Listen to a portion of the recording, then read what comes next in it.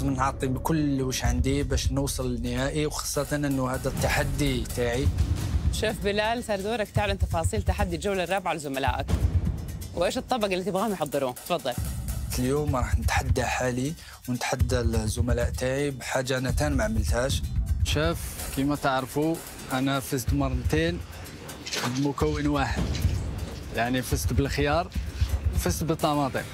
بلال ما تنسى خي نحن بتحدي في مكون واحد عملنا أطباق خرافية بالنهاية نهارتها ما بعرف شو كان عم بفكر صراحة. نتحداكم في طبق راح يكون مكون واحد اللي هو الاونديف آخ. الهندبة البلجيكية مكون منه هين أبدا. فيها مرورة مو طبيعية. اخترت ال endive لأنه صعب باش يطلع الاذواق منه هون اللعبة بهذا التحدي. تقدر توازن طعم الهندبة البلجيكية بدون ما يكون طعم المرار واضح. ما راح تستعملوا لي بروتين ولا شيء. لازم يكون هو النجم. فين نستعمل اجبان ما كاش بروتين. حتى الأجبان ممنوع. التحدي منه هين أبدا بحاجة لذكاء وعندكم 25 دقيقة. وآخر واحد يطلع من المخزن راح تتغلق المخزن. حسيت إن هاي الجولة فيها احترافية فيها شيف قاعد يفكر صح. ما بعرف قد إيه زبطت معه إنه ياخذنا على ملعبه شيف بلال. في احتمال كبير حدا يعمل طبق أحسن من طبق. احتمال كثير كبير. في نصف النهائي هذه المخاطرة؟ قلت نخاطر ونشوف. يا نروح النهائي يا نرجع للبيت. فإذا شيف بلال اللي متفائل دائما بالأطباق اللي يحضرها واللي نجمها مكون واحد.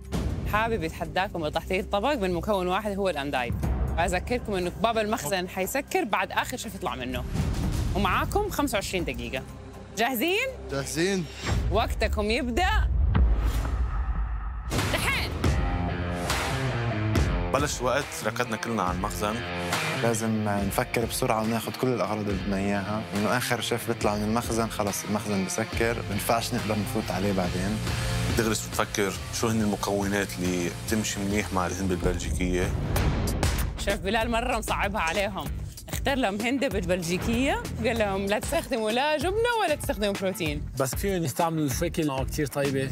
Yeah, I think fruit should work very nicely. بلشت. تفاح أخضر ليمون. ثلاثة خديت اليوسفية البقدونس خديت التين المجفف المشمش المجفف. ممكن يستعملوا مكسرات؟ أخذت زبيب أخذت سنوبر نقيت كل أغراضي وظهرت مرة واحدة كنت أنا آخر واحد وسكر وراي باب المخزن. بدي بلش شغل بطلع بالصينية. ما جبت endive شو الضربة هي؟ جاي اعمل تحدي endive ما معي endive